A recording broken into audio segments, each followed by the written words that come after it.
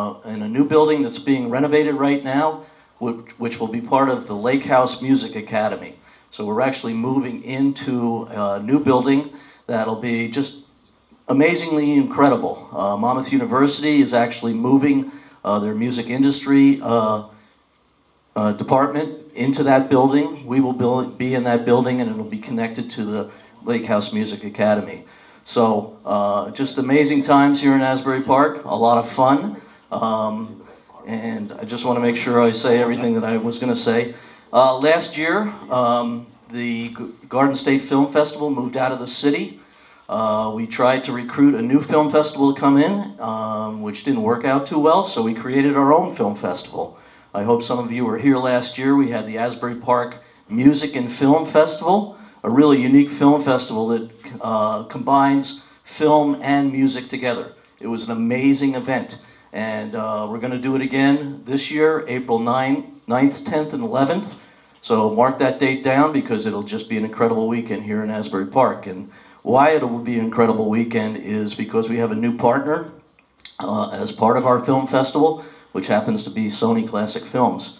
So we took a, we started out as nobody and took a major step. So we're going to have a really great film festival this year.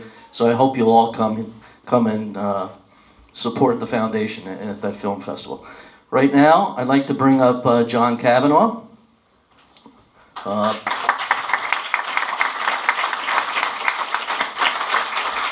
And John is going to introduce our, our program tonight, but before he does that, uh, I just want to recognize John for all the hard work he's done here. Uh, John uh, joined us when we, actually before we opened the doors, thank God. Uh, but as you can see, some of his great, most of his great work is actually on the walls here. Um, but he is our curator and really has carried us through uh, the last uh, three years here on this space and has done an incredible job. If you've been here, we've just had some amazing exhibits, um, and it's really very cool that we're ending on a very high note here. Uh, because this, this has really been the, the best exhibit that we've had here. Uh, but John has done an amazing job. I want you to recognize John Kavanaugh.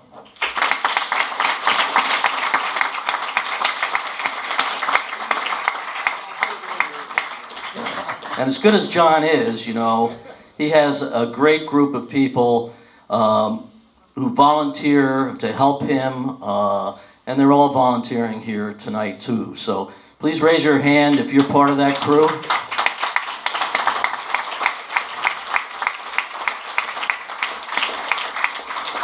Great job. We're forever, forever thankful. So with that, John Kavanaugh. That was scary. Um, thank you, Tom. Thank you, Tom. And thank you for the opportunity. It's been a wonderful, incredible three years here. It's been magical. To share your, uh, my passion with photography and the wonderful history of music in Asbury Park. It's just been an incredible ride. And Tom's right. This, what better way to uh, move on to the next adventure than to have the most incredible event and exhibit of all our three years here. First, I want to uh, apologize. I know you're kind of sardined in here, um, but as you can see, most of you are family of a certain gentleman that I, we will introduce in just a minute. So I know there's going to be a lot of reminiscing on stage, off stage, and I'm just so happy that you, all you came down. And I want to thank all the photographers and the artists that brought these wonderful photography, the artwork, the images of just probably a small part of this man's wonderful career. And I just want to give a round of applause for all these people that. Just a couple now of quick housekeeping rules. Obviously, it's a tight room here, and everybody. Um, we'll try to keep to your seats as much as you can. Take the photos from your chairs. If you need to, we have the restroom in the back.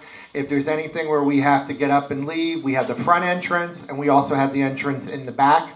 Um, I want you to sit back and enjoy yourself. And right now, I'm going to give to Jay Lustig.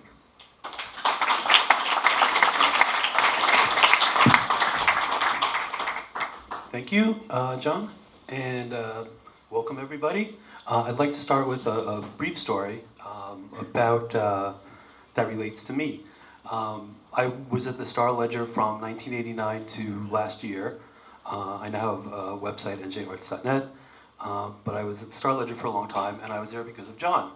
Um, in the 80s, uh, it was a really great time for rock music, of course. There were a lot, a lot of huge shows, uh, arena shows, stadium shows, all kinds of stuff going on. And the Star Ledger didn't have uh, a full time pop rock writer. Uh, had a, George Kanzler was there. He wrote about rock, but he also wrote about jazz. He was really more interested in jazz. Uh, he was great, but rock really wasn't being covered. And John went to Mort Pye, who was the editor of the paper, and he said, You really need a full-time dedicated rock person. Uh, so the Star Ledger, for the first time ever, uh, hired a rock person, and that person ended up being me. Um, John didn't recommend me; George knew me, but uh, thank you for doing that. um, also, over the years, of course, uh, I use John a lot as a source. Uh, I think uh, a lot of New Jersey reporters know that if you really need to turn to someone who really knows what's going on and who's going to give you an honest assessment of what's going on and isn't going to pull any punches, uh, and who will give you a very colorful quote and really make your story uh, pop in a way that it didn't uh, before, you can go to John Scher. So uh, I'm glad to be doing this for those reasons. Also, just this is John Scher uh, of used to be John Scher. Um, I think it's no exaggeration to say over the uh, last, you know, over really, if you look at New Jersey rock and roll, and there's no one, no behind the scenes figure who's more important than John Scher.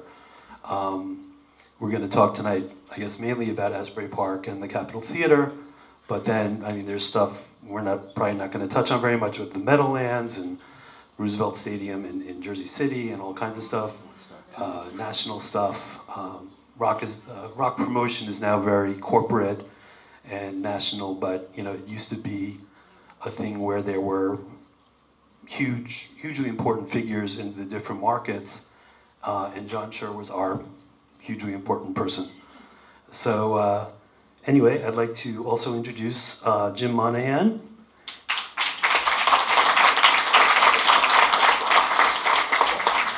And Dan Neer.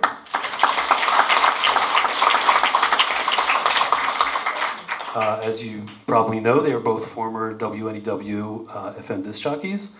And uh, also, uh, Dan is now at uh, Sirius XM, where he's on uh, Deep Tracks and the Loft. Uh, right? Those are, yeah, just want to make sure I got that right.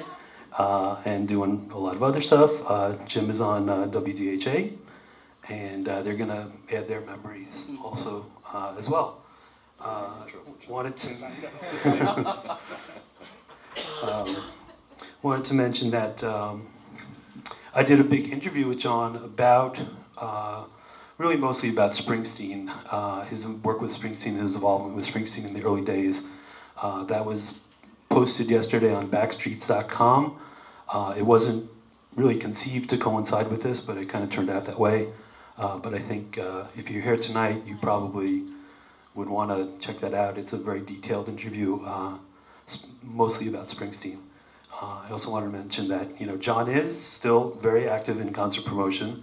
Uh, I went to a uh, show he promoted a couple days ago, actually, Tony Bennett at NJPAC, great show. Um, so uh, he's older than I am. I know he's older than uh, just about everybody. Um, so I'd like to start by uh, asking John about Asbury Park because Asbury Park was really his entry into the the music business. Um, at the Sunshine Inn. Uh, you were hired as a booker, uh, 1969, 70. I think you weren't quite sure, but yeah, yeah, somewhere in there. Yeah. So, uh, so what are your memories of the, the Sunshine Inn? Um, well, thanks everybody. First of all, thank everybody for, for, for coming. There's some great old faces here, um, some new ones, uh, some people that are very influential in my life. Uh, so uh, it's, it's, it's, it's, very nice. It's heartwarming. I've never done anything like this. I've always resisted it, but uh, um, this was unresistible. And the, the people here in Asbury were, were so together and so nice. Barbara Berger, I don't think I mentioned, you know.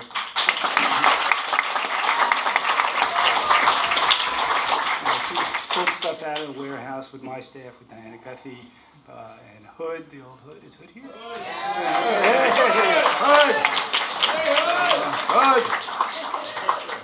Some of the, uh, you know, some, some of the original uh, Asbury and, and Capitol people uh, are here, and, and a lot of them helped. Tommy Catrino helped. Uh, Moisey's here, did all this fabulous artwork that you can, you can see. And whoever I'm forgetting, I apologize.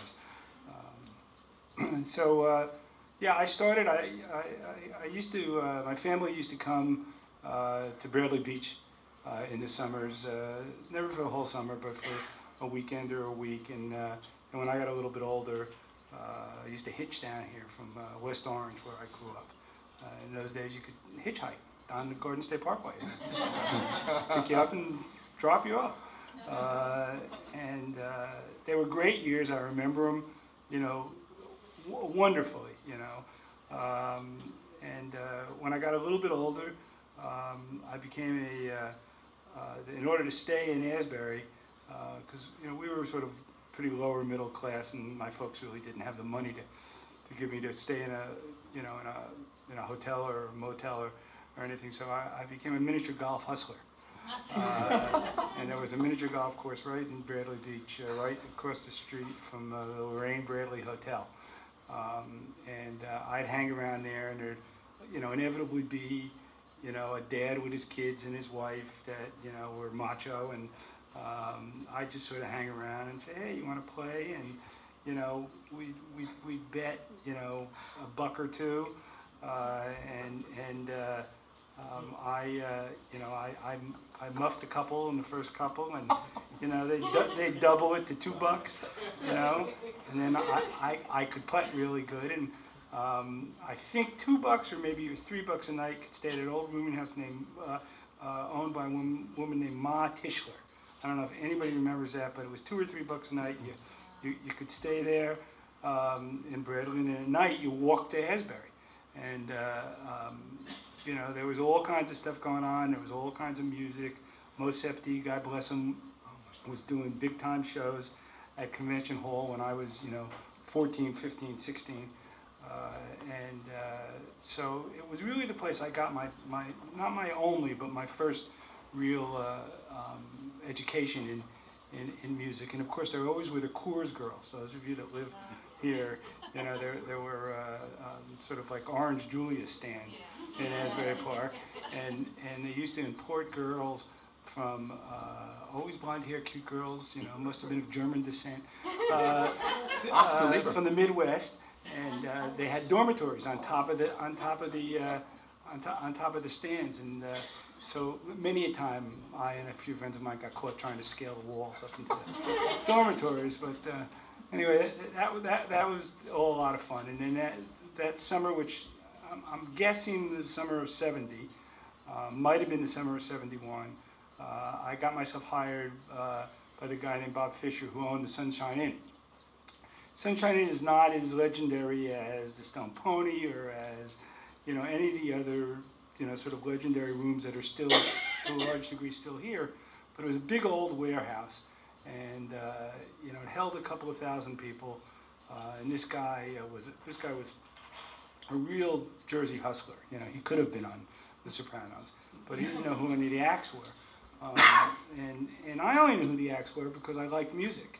It wasn't because I was really terribly ingrained in the, in the industry. Um, I was a little bit, but, but, but not much. So um, I booked a bunch of shows there. Uh, and it's the first time I met Steve Van Zandt and, uh, and Bruce Springsteen uh, when they were in Steel Mill. And Steel Mill sort of became the house band. They played there, you know, many, many times. Uh, and it started uh, um, a friendship with those guys uh, and with, uh, you know, many of the guys that were in the original East Street Band, uh, David Sancious and, and Clarence, of course. And um, this, this, was before Max. And, and um, you know, so, so you know, that, that, that was real fun. It, it, it, was real fun, and I got and I got bit by the showbiz bug.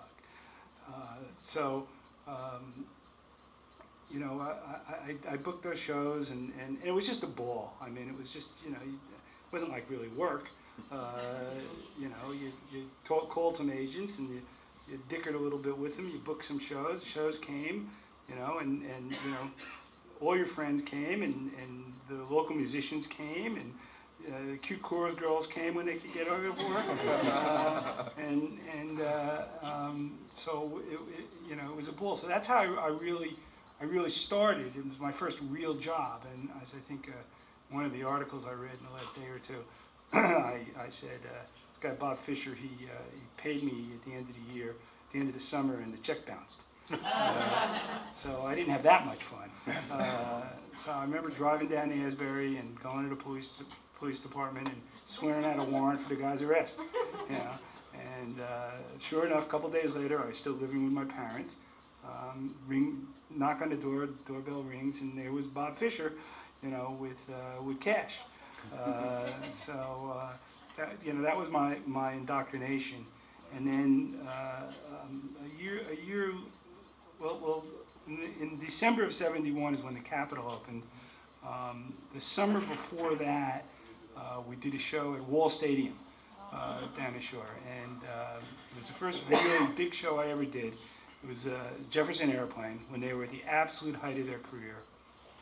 We saw those of you that live down here know Wall Stadium. It's a little um, racetrack, midget car racetrack. I think it, it is. I think it's still there. Um, and uh, we sold 15,000 tickets, which was like gigantic, you know, at the, at the time. And then the city or the township of Wall decided to try to join us. Uh, and uh, um, That's not a good thing, right? it's, not, it's not a good thing. And uh, I had my, my lawyer at the time was a guy who uh, eventually uh, was one of the owners of the Bottom Line in New York. Um, but he was a New York attorney and he didn't know anything about New Jersey law. So he tracked down uh, the Asbury Park firm of Van Shelowitz, Barr, and Sell and Benella. Uh, and uh, um, a guy named uh, um, Robert Ansell. Robert? Robert. Yeah, Robert. I have some. I have some people help me cheat here. Um, uh, and um, uh, we hired we hired Robert, and uh, he had a, uh, a young, probably just